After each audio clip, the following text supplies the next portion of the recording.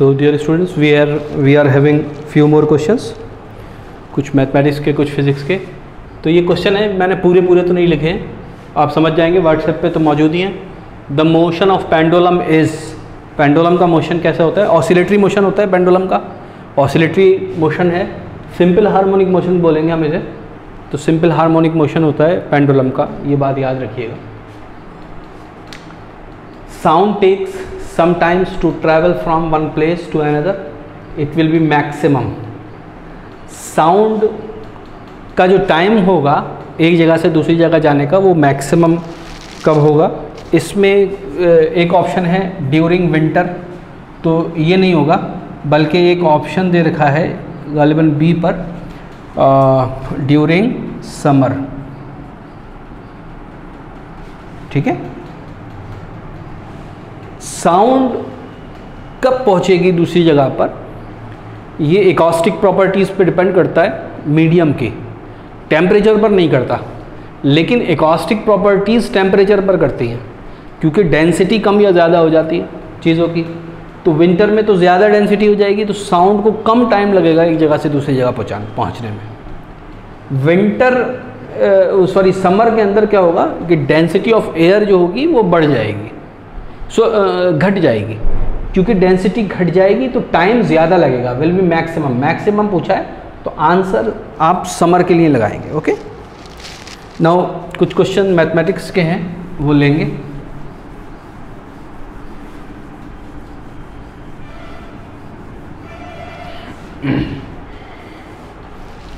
एक क्वेश्चन है find the value of x in the equation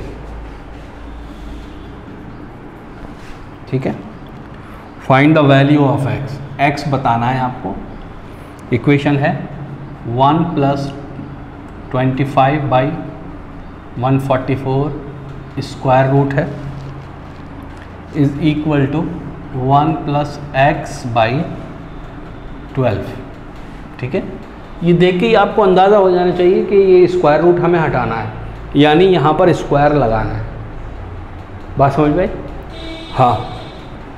तो ये स्क्वायर रूट हटा दें इसका स्क्वायर लगा दें तो ये हो जाएगा one plus twenty four five by one forty four is equal to one plus x by twelve का होल स्क्वायर बात समझ में आती है क्या? ये हो जाएगा one plus twenty five one को मैं अभी ख़त्म नहीं कर रहा हूँ, जानबूझ के। वन का स्क्वायर हो जाएगा प्लस एक्स का स्क्वायर अपॉन एक सौ चवालीस plus two into one into x by twelve तो ये हो जाएगा x by six one one के स्क्वायर से कैंसिल हो जाएगा। बात समझ में आती सबको छः से कैंसिल कर दें। इसको छः से कैंसिल कर दें, इसको भी छः से कैंसिल कर दें। तो ये हो जाएगा पच्चीस बटे छः दूनी बारह छः चौक चौबीस। एक्स स्क्वायर बटे चौबीस प्लस एक्स बाई वन ठीक है? यहाँ से हमने तो क्वाड्रेटिक इक्वेशन बन जाएगी। ठीक है? इसको आप कैलकुलेट कर लीजिए। एक्स की जो वैल्यूज़ आएँगी, वो दो आएँगी। एक तो एक्स की वैल्यू आएगी माइनस ट्वेंटी फाइव ठीक है? जो कि इनवैलिड होगी यहाँ पर। दूसरी वैल्यू आएगी एक्स की वन तो x is equal to one यही बेसिकली आंसर होगा। ऑप्शंस में दिया हुआ भी है ये। ठीक है? नाउ सेकंड क्वेश्चन है। वो लिख रहा हूँ, इसे आप नोट कर लीजिए।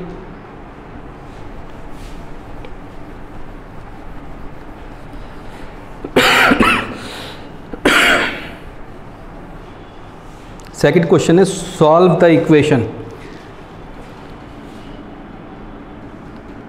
फाइव की power under root x plus twelve की power under root x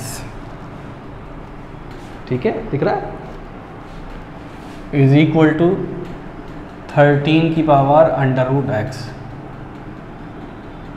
under root x five की power under root x twelve की power under root x thirteen की power under root x five twelve और thirteen ये Pythagoras triplet है. Pythagoras triplet क्या होता है? जब दो नंबर के स्क्वायर्स का सम किसी तीसरे के स्क्वायर के सम के किसी तीसरे नंबर के स्क्वायर के बराबर हो तो उसे हम पाइथागोरस ट्रिपलेट कहते हैं। तो ये पाइथागोरस ट्रिपलेट है, क्योंकि हम जानते हैं पाँच का स्क्वायर प्लस बारह का स्क्वायर। पाँच का स्क्वायर हो गया पच्चीस, बारह का स्क्वायर हो गया एक सौ चवालीस, ये तीनों आ गए एक सौ उनहत्तर और ये बराबर होता है तेरह का स्क्वायर। तो पाँच का स्क्वायर, बारह का स्क्वायर, तेरह का स्क्वायर, ठीक है? ये इसी तरीके से सवाल सॉल्व हो जाएगा। पाइथागोरस ट्रिपलेट आपको याद रखनी चाहिए।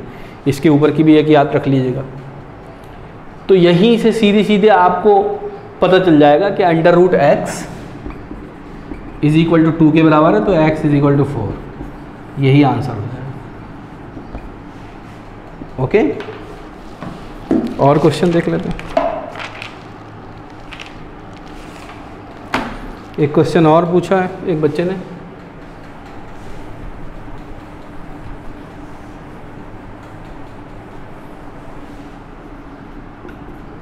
क्वेश्चन क्या है?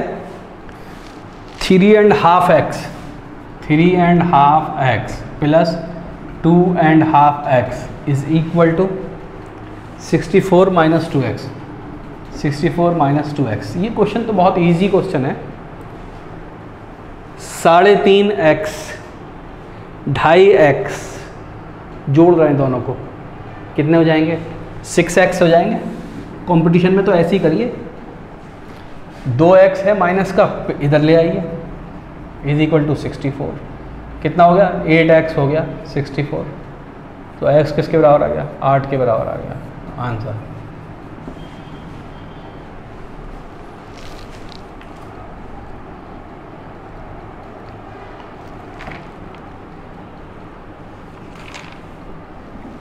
एक क्वेश्चन और है।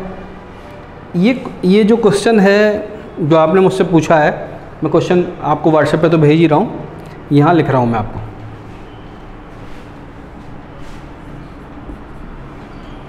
इफ़ फोर की पावर एक्स प्लस टू की power y is equal to one twenty eight ठीक है? ये लिखा हुआ है। और लिखा हुआ है एंड फोर की power three x plus two y is equal to nine x y. ठीक है? तो इसमें एक्स और एक्स और वाई की वैल्यूज़ के ऑप्शंस दे रखे नीचे। तो जो आंसर जो भी आएगा आप निकालेंगे, उसको मैं आपको समझा दे रहा हूँ। यहाँ गलती ये है, ये बेसिकली फोर नहीं है, ये थ्री है। ये फोर नहीं है, बल्कि ये थ्री है। इसको ऐसे लिखिए, थ्री की power three x plus two y is equal to nine की पावर एक्स वाई ऐसे लिखेंगे तो जो ऑप्शन हैं, उनमें से आंसर आ जाएगा आपका।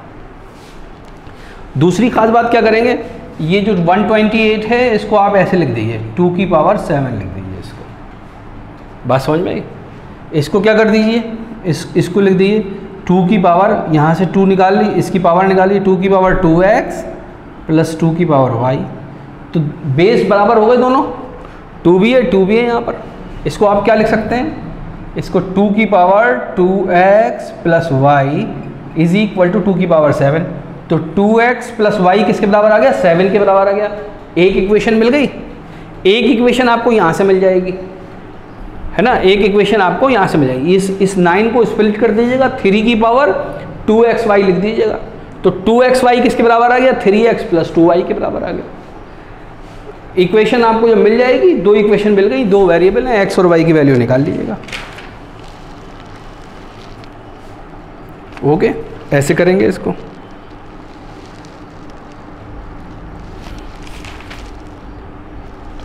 ये हो गया, ये हो गया, ये हो गया। ये हो गया। ओके कई क्वेश्चन हो गए। अभी अमान के क्वेश्चन बचे कुछ तो वो हम ऑनलाइन क्लासेस में इंशाल्लाह लाइव क्लास में कराएँगे। ओके